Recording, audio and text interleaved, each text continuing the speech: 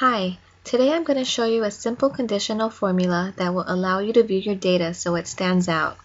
But before I do that, I want to apologize for putting in my formulas for my plus and minus column incorrectly in view, my video a few days ago. The corrected formula should show my goal column subtracted by my sales instead of the inverse.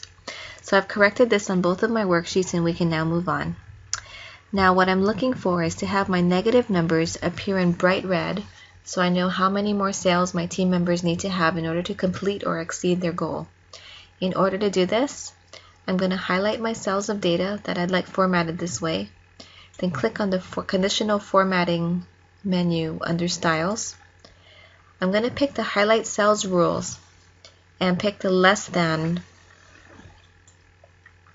because this option is based on numbers less than 0, which is what I'm programming.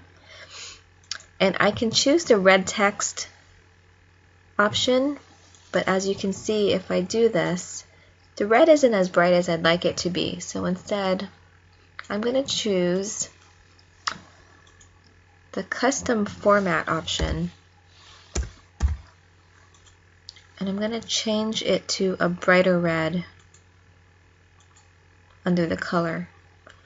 When I hit OK, you can see that the red is bright, a lot brighter and it stands out more. So I can just go and tell John, hey, you only need six more in order to reach your sales goal. Now there are a lot of pre-programmed conditions that you can look for in the menus, so enjoy playing around with them until you find the one that works for you.